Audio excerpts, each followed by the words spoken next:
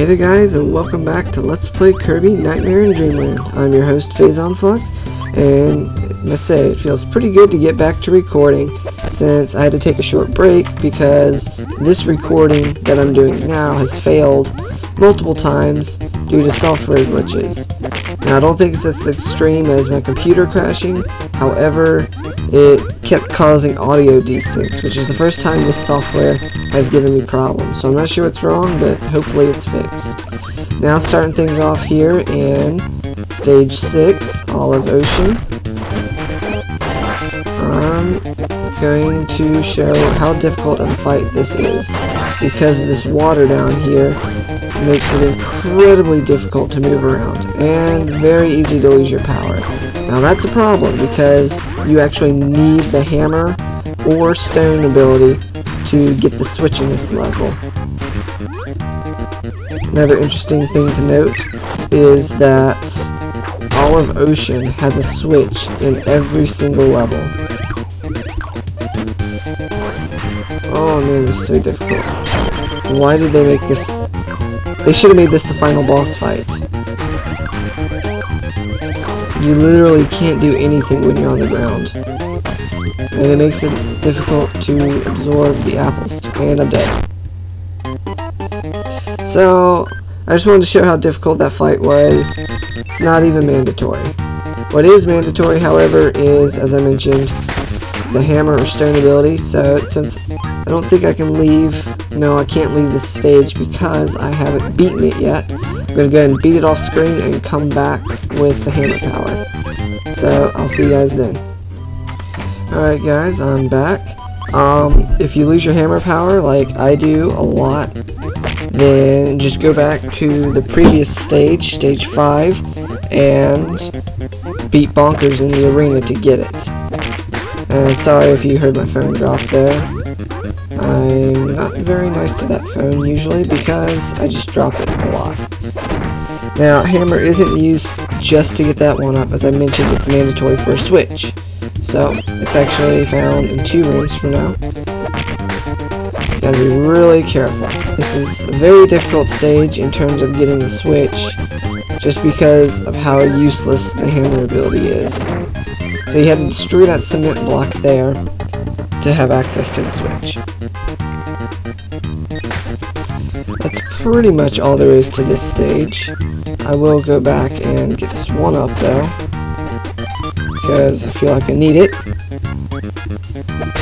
And now, yeah, I could care less about the hammer ability. See ya! Now, one thing I do like about Olive Ocean is it's a water level. okay, I can't really say that with a straight face. Oh, I hate water levels in video games. Except Majora's Mask. They did a really good job with swimming mechanics in that game thanks to the Zora Mask. Anyways, I'm off topic. The reason I like Olive Ocean is because this entire game does a really good job at escalating difficulty. I feel like I say that in just about every part of this Let's Play, but I do mean it. Olive Ocean is a huge step up in difficulty from the past stage, and it's only going to get more difficult from here. So, in the copy museum that you obtain from the Switch, I wanted to show off that it gives you the wheel power. Now, normally most copy museums give you a power that is somewhat required in the next stage, but in this case, that's simply not true. Wheel it really isn't that useful. Now, if you enter that little secret alcove right over here to the left, you get a free stone power. You just gotta be careful not to move. Now, the stone power is actually, once again, mandatory for the Switch. Oh, I totally hit my uh, B button. Oh well. Stone is a lot laggier in this game than it is in previous or in subsequent games because there's whenever you're transforming into stone, there's more frames of vulnerability, which means that you can be knocked out of being turned into a stone much easier than you can in next in the next Kirby games. So stone isn't quite as useful as it normally is. Normally stone is one of my favorite powers in Kirby games because it's really just broken. But, continuing on, we're going to go and ditch it because we got the Switch in favor of Super Kirby! Faster than a speeding missile. Stronger than whatever the boxing guys, yeah. Fighter things. I don't really know anyways. Although, there's a secret UFO here. Come here. There it is. Makes getting through this place a lot easier. I wish, once again, that you could keep UFO Kirby, but unfortunately you can't. When you leave the stage, that is. I get to keep it for the rest of this room, but that's about it. Kind of makes things easier in terms of skipping stuff, but ultimately, there's better rooms that UFO Kirby could have been placed in, I think. So, that'll do it for stage 2. Put that stake in the ground, Kirby.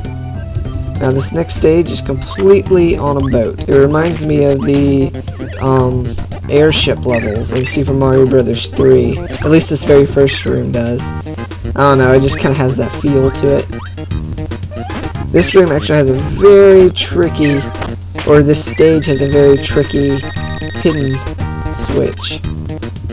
Which I, as usual, will show off.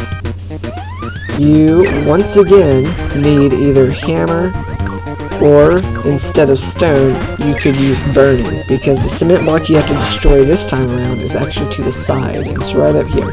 So see, stone wouldn't cut it there. You either need hammer or burning.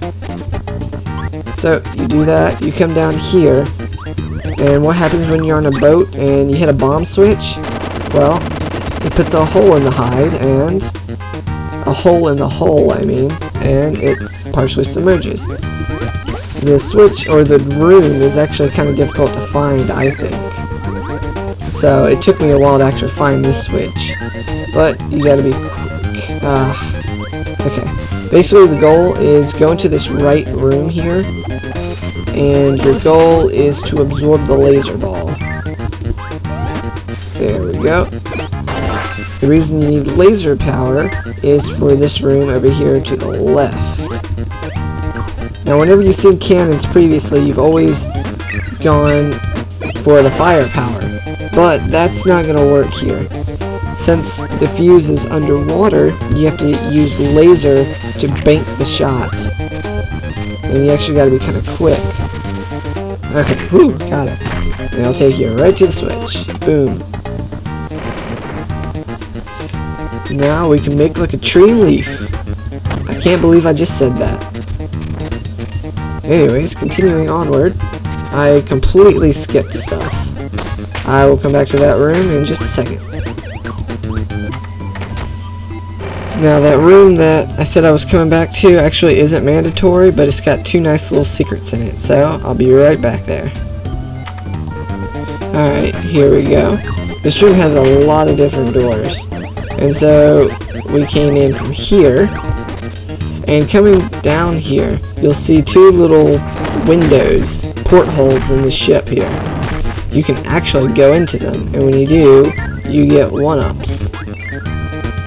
So that's all I really want to show there. It's a nice little hidden secret. I think it's cool. So, back to the stage.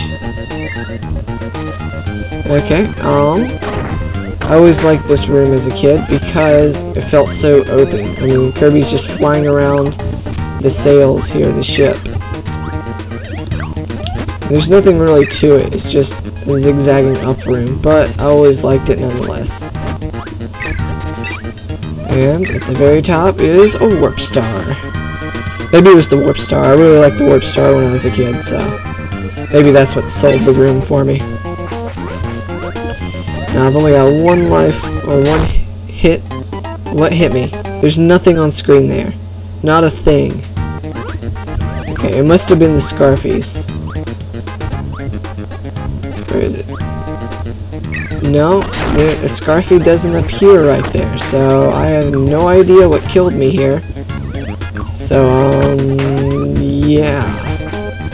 Anyways, glitches aside, because that's what I'm going to call it, we are done with Stage 3. Now, I don't really think we have time for Stage 4, but we will finish up Level 6 Orange Ocean in the next part. So, hope you all have a blessed day, and I'll see you then.